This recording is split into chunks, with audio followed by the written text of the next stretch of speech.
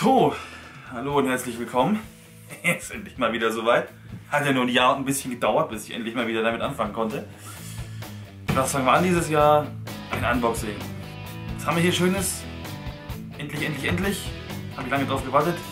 HDX 68. Wofür steht das? Home Defense Extreme. So muss das. Ihr wisst ja, Sachen mit X im Namen verkaufen sich besser. Lieber 68, so wie es jetzt gehört. Schauen wir uns mal an. Fummel, fummel.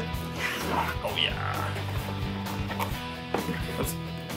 Da ist er. So, was haben wir hier denn Schönes? Also, HDX 68, die neue Schrotflinte von Umarex. So der, der, kann sagen, der Nachfolger zur SG 68 damals. So, kommen wir gleich mal zum lustigen Teil. Hier unten seht ihr eine kleine Rampe zum Nachladen. Ich euch gleich, wie das geht. So, und das ist eigentlich auch schon alles, was dabei ist. Also so unboxing-technisch ein bisschen wenig Inhalt. Aber meine ich schlimm. Wir haben ja noch PGs-Stand, ne? Aber gucken wir uns das erstmal an in Ruhe. So, also, wie das für eine Schrotflinte gehört. Schön mit Repetierschaft, 16 Schuss geht rein, natürlich erst gestempelt, wie sie das gehört. Gehen wir mal mit der Sicherheit voraus. Laden Sie ohne CO2 hinten drin. Also, ihr habt hier vorne den Ladeschaft. Dann nehmt ihr dieses kleine Detail mit dem Ecke nach hinten. Setzt es hier ein, nach oben zeigend. Und damit etwas Liebe und Kraft einführt dass es hinten einrasten kann. So, dann sitzt es schön fest und kann nicht rausrutschen.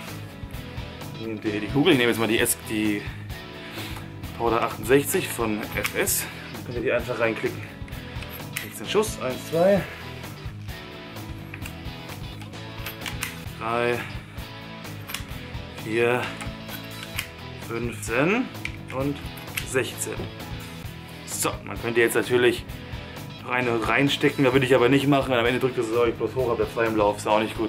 So, und dann vorsichtig das Ding wieder rausziehen und dann nach oben drücken und dann rausfummeln und vorsichtig nicht den Schaft dabei nach hinten drücken, weil sonst geht es euch gleich wie mir gerade. Das seht ihr dann gleich in den Outtakes am Ende des Videos. Und dann fliegen euch die Dinge nämlich um die Ohren und dann wieder laden. Dann schon ist sie gespannt.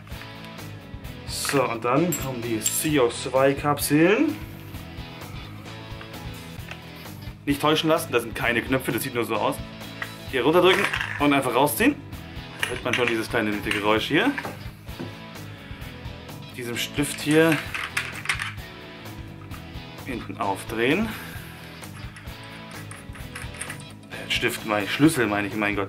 So, jetzt hier einmal wichtig, ich habe es zum Glück noch nicht ausprobiert, aber ich gehe stark davon aus, nicht hochkant und reinfallen lassen, sondern schön flach.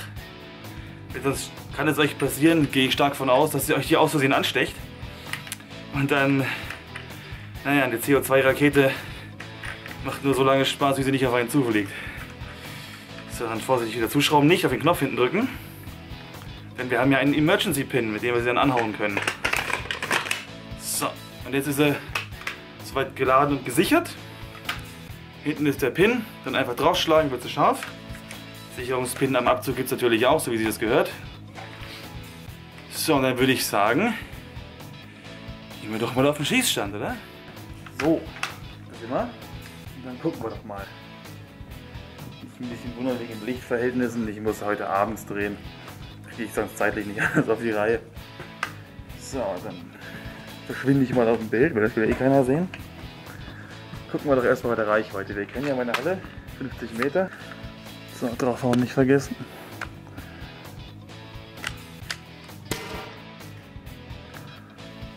Ja, war schon was schwacher Flug.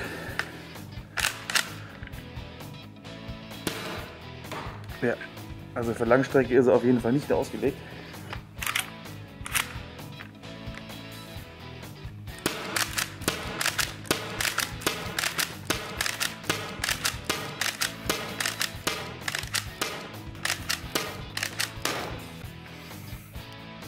Kein Lockbolt. Ein kleines Vorfazit kann man ja schon mal ziehen. Ist natürlich jetzt kein richtiger Test gewesen. Ähm, also die Haptik ist natürlich mega geil, keine Frage. Ist auch Vollmetall, wenig Plastik. Seht auch hier alles sauber verarbeitet, habe jetzt nichts gefunden, nichts klemmt. Man kann auch hier vorne die Feder tauschen. Zum Entladen will ich es aber nicht hernehmen. Wie entladen geht sie dir gleich in den Outtakes. Ist aber ganz einfach tatsächlich, auch wenn es in dem Fall ein Versehen war. Nur noch eine Sache zu diesem, hier, dieser kleine Junge hier. Würde ich, wenn ihr sie auf dem Feld mitnehmt, nicht mitnehmen. Der steckt hier unten zwar drin, recht fest, muss dann auch so rum wieder eingesteckt werden. Aber das ist wieder so, da steckt ein großes gelbes Schild dran, auch wenn man es jetzt im Video nicht sehen kann, aber drauf steht, verliere mich. Also will ich das Ding nicht mitnehmen. Ansonsten kann man sagen, jetzt so, er kommt mit, er hat jetzt nicht blockiert beim Schnellfeuer. Ich hoffe, die Knall war nicht zu laut im Video, muss ich gleich mal gucken im Schnitt. Also ordentliches Gewicht, da ist auch ein Glasbrecher vorne dran. Ist natürlich, muss man sagen, das Umarex ist also Hobbyfans, das ist eigentlich kein Paintball-Markierer. Auch wenn wir ständig Umarex-Geräte dafür missbrauchen. Ähm, das Ding ist dazu da, um einen Einbrecher abzuwehren und das tut das. Das hat zwar jetzt natürlich nur die deutsche Standardvariante, weil die 40 Joule, weiß ich gar nicht, was man machen muss, um die in Deutschland zu besitzen. Gibt es bestimmt irgendwie einen Weg, aber da ist nicht meine Welt, da halte ich mich raus. Das ist die ganz normale, hier knapp 200 noch was FPS. Man hat ja gesehen, Reichweite ist da nicht viel. Also keine Repetiersniper leider, wenn sich das manche gewünscht haben. Aber ansonsten ist die richtig nice. Also Natürlich mit 3,99 nicht ganz billig, aber für mich als Spinner lohnt sich das schon. Dazu sei noch gesagt, nochmal ganz fettes Dankeschön an den Paintball Shop Leipzig und die Area 13, die mir die zur Verfügung gestellt haben für dieses Video. Aber ich werde sie trotzdem kaufen, keine Sorge. Ich will nichts geschenkt. Ähm, wir werden, gucken wir mal, ob ich mit Hunting Lion auf der Area 13 ein Duell mit diesem Schmuckstück spielen werde, er gegen mich auf dem CQB-Feld. Muss nur mal gucken, wann ich dazu komme, weil nach Leipzig fahren ist jetzt auch nicht so easy. Ne? Ich bin aber nächste Woche auf dem Battleground und da werde ich noch mal ein bisschen durch den Wald springen damit. Kriegt auch noch mal ein kleines Video dazu. Und ansonsten hoffe ich, es hat euch wie immer gefallen und bis zum nächsten Mal. Das nächste Unboxing wird sehr wahrscheinlich die neue HDR 68, da freue ich mich schon richtig drauf. Endlich ein Revolver in gescheiter Größe. Und ansonsten wünsche ich euch einen schönen Tag, schönen Abend, schönes Wochenende und bis zum nächsten Mal.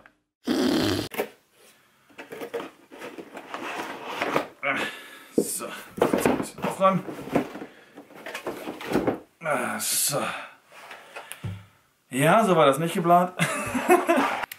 so und dann.